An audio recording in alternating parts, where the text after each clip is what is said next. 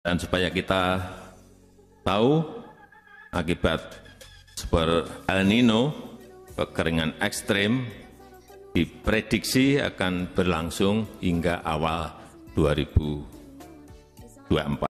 Menyikapi prediksi tersebut, kita coba memperkenalkan satu tanaman yang bisa ditanam di lahan darat juga musim kemarau inilah gembili eh, panenan bulan September awal September 2023 di Desa Srikaton Anak Tuha Lampung Tengah. Jadi eh, kalau ditanam cukup eh, banyak dipanen bergantian. Berikut kita dengar kesaksian penanamnya Pak Dwinarto. Selamat sore Romo. Ini gembilinya udah mulai tak panen soalnya sebagian daunnya udah kering malah hampir mati Romo jadi ini saya sudah mencoba menggali ini buahnya udah seperti ini ini hanya sebagian Romo. Ya, yang yang dulu kita tanam yang pertama itu yang dekat rumah belum Romo. Ini baru yang di belakang rumah ini Romo. Ini yang saya rampatkan di batang kopi. Sebagian masih masih belum saya panen Romo. Dicicil aja biar nanti kalau mau dimakan di panen ini Romo ini hasilnya Romo ini. Yang jelas ya udah banyak Romo ini.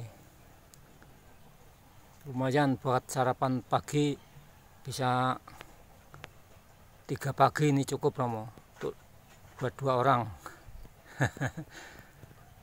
Selamat sore Romo berkah dalam. Kukus udah buat sarapan Romo sama keluarga.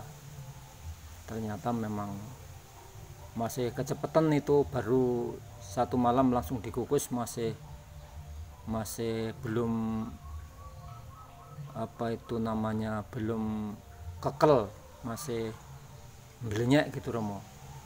Nah ini tadi pagi saya panen lagi jumlah yang saya panen satu batang mendapatkan gembili terhitung ada 22 biji.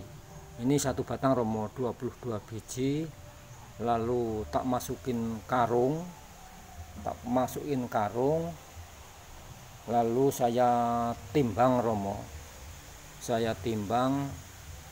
Beratnya ada ini ada 9 kilo Romo. Ada 9 kilo.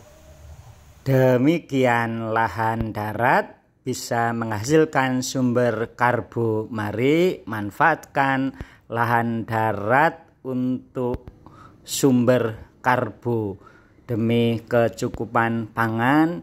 Betapa kalau eh, sumber karbo itu juga bisa dihasilkan di lahan darat.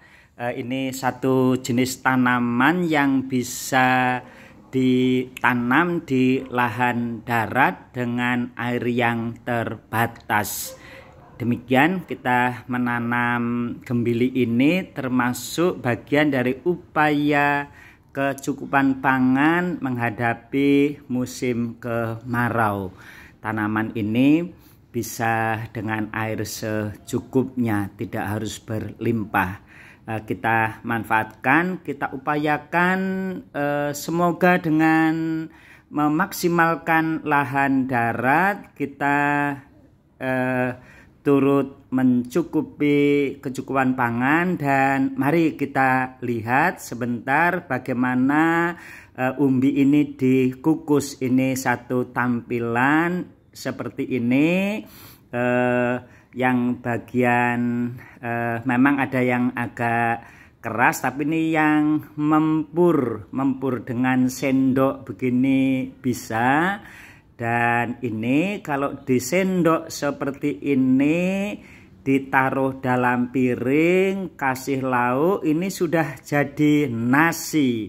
Ini bisa jadi nasi umbi atau dibuat penganan ditaruh dibungkus dengan pisang seperti lapet ini juga sumber karbo yang oke